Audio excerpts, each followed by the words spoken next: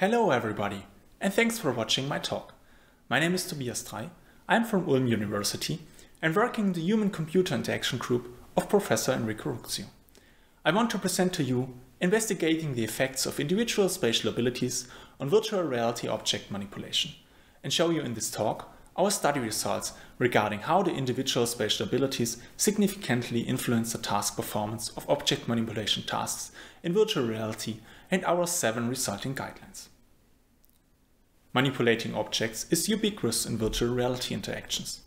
It is done by everyone in games for leisure, education and work. Therefore, it must work smoothly for all users to achieve good usability. However, we must consider individual spatial abilities, a capability where individuals differ strongly. Therefore, we expect a highly individual and diverse effect on the task performance and usability of VR object manipulation interaction techniques. Despite these assumed performance effects, for nearly everyone in virtual reality applications using object manipulation, this was never systematically investigated in past research, which we now did with this work. We therefore defined the following research question. Do individuals with higher spatial abilities outperform individuals with lower spatial abilities in VR mid-air object manipulation tasks? To answer our research question, we conducted an experimental comparison of mid-air object manipulation techniques in VR with 66 participants. We correlated the results with their individual spatial abilities by exploratory analyzing several dependent variables. But before I come to that, let me explain how we created an appropriate study design for our research question. As guidance, we followed the checklist for VR object selection and manipulation studies by Bergström et al. Object manipulation can be separated into three canonical manipulations, translation, rotation, and scale. You can see in the picture how they are often performed by using gizmos. Each of them can have up to 3 degrees of freedom in our three-dimensional world meaning up to 9 degrees of freedom if they are all used in one object manipulation. We focused on interaction techniques applicable to a standard head-mounted display setup based on midair controller input to provide generalizable and broadly relevant results. We chose interaction techniques to investigate the whole 1 to 9 degrees of freedom spectrum and selected the previously shown well-established gizmos used in Unity or Blender for simultaneous 1 degree of freedom manipulations as the first interaction technique. You can see in this video how it works. For 3 degrees of freedom, we also selected gizmos. For both, complex manipulations must be decomposed and performed sequentially when the task needs more manipulations than simultaneously possible with the respective gizmos. We further chose the handlebar metaphor for simultaneous 7 degrees of freedom object manipulation. It can handle all manipulations simultaneously, and participants need no decomposition, even for the most complex task in our study. This resulted in the three conditions for the interaction techniques. 1 degree of freedom, 3 degrees of freedom, and 7 degrees of freedom. These techniques provide an increasing complexity. Like the interaction techniques, Object manipulation tasks can also be divided into the same 1 to 9 degrees of freedom spectrum. As for many object manipulation studies, we use docking tasks to measure the task performance of the interaction techniques. In a docking task, a source object has to be translated, rotated and scaled to fit a target object. For example, you can see in the video how the solid source pipe is manipulated to fit the transparent red target pipe. In a Fitts law equivalent approach, we measure task completion time and accuracy. Therefore, we present our own Fitts law adaptation as nothing suitable for controlling the difficulty of our tasks was defined until now. This was necessary to adjust the difficulty of our docking task as it is essential for Fitts law studies. I will not present the equations in this talk, please find details in our paper. Due to its high level of standardization as well as its generalizability, our study design is a methodological contribution according to Wobbrock and Kientz. It can serve as a template and ease researchers' work in defining and conducting highly standardized object manipulation studies based on docking tasks in a Fitts law-like manner. We used the well-established test of Vandenberg and Kuse to measure the spatial abilities of our participants.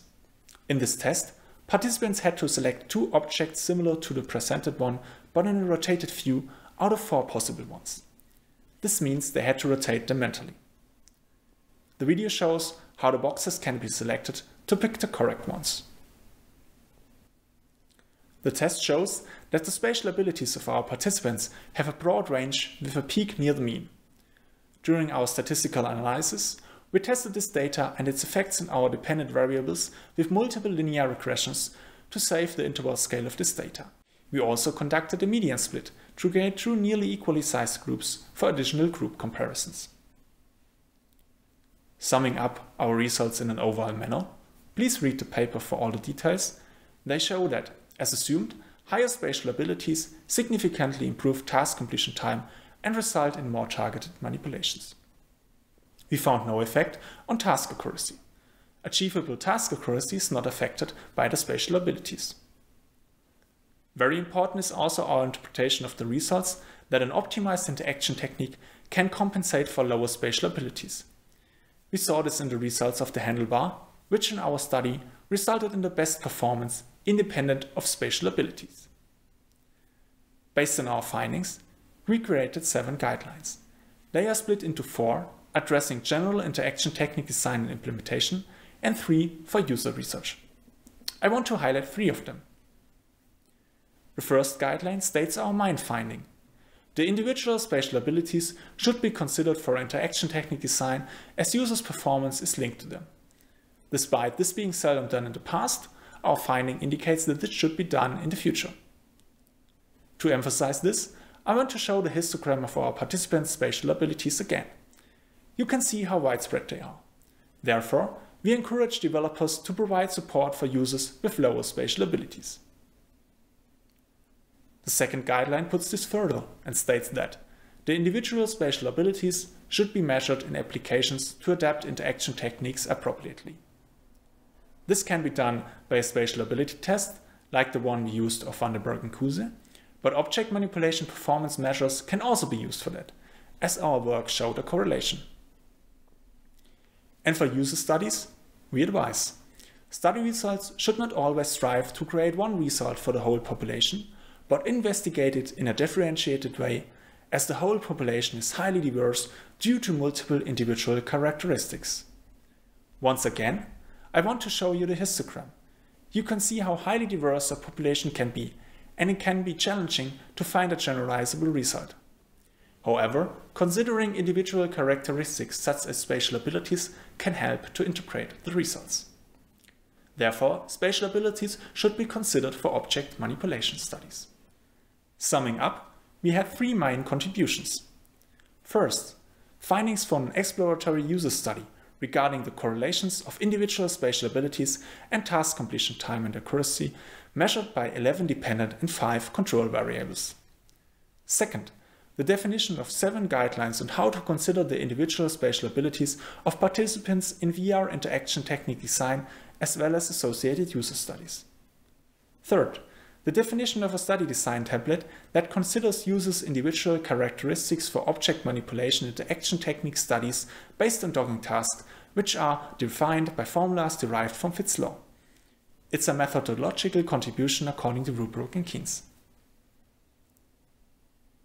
Thank you very much for watching my talk, investigating the effects of individual spatial abilities on virtual reality object manipulation. Please read our paper for further details.